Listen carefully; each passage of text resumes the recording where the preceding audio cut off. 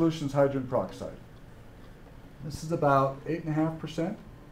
And let's see, the stuff you bleach your hair with, some of you bleach your hair, is about 10%. Um, the stuff that you have in your medicine chest or near your washing machine that takes out blood stains, you guys ever used it before? If you have like a shirt with some blood on it, you take some hydrogen peroxide, put a cap full on it, it magically dissolves. It fizzes and bubbles and it goes away. So hydrogen peroxide you probably have inside your home. Your mom uses it to get out blood stains. Uh, another solution will be potassium iodate. Uh, you'll learn how to write the formula for this soon. Um, and you'll learn how to name lots of chemical compounds as the year goes along. And what's this thing called? A beaker. Everybody knows what this one is. So a flask and a beaker. And we'll add about the same volume here in just a minute. And the third solution has some starch in it along with a couple of other things. And we'll put that in another beaker. Now, I'm going to set these next to each other and make an observation. What color are the three solutions? Stupid answer time?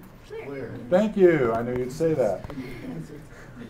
P, P is clear, isn't it? But it certainly has a color, doesn't it? Most of the time, mm-hmm. right? So clear, I don't know if that's a color. Another stupid answer. Give me another one. See, now you're afraid. Transparent.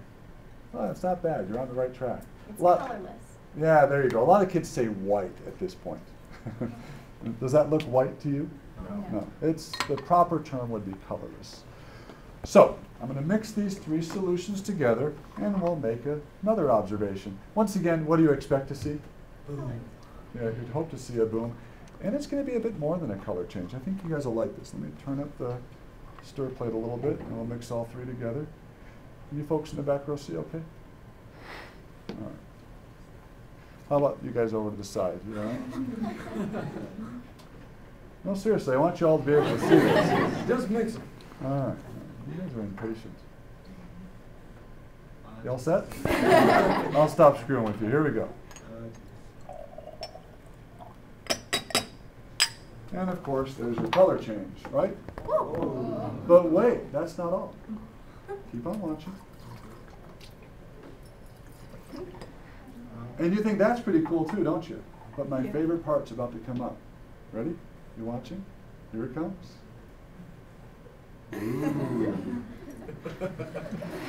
And once again, you might think it's over.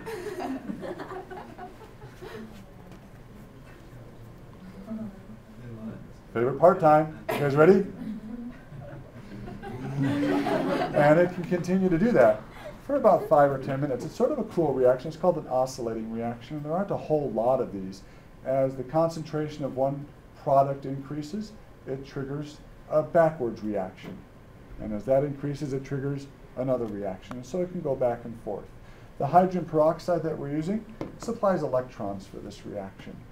Uh, when it does so, it decomposes into water and oxygen gas. So if you're at the front of the room, can you guys see the oxygen gas? Can you see it? What does it look like? Bubbles. Bubbles. Bubbles, yeah, it's fizzing in there. And that's the decomposition of our hydrogen peroxide. And when that goes away, as, long, as well as some other reaction, uh, reactants, uh, the reaction stops. But it'll go for quite a while.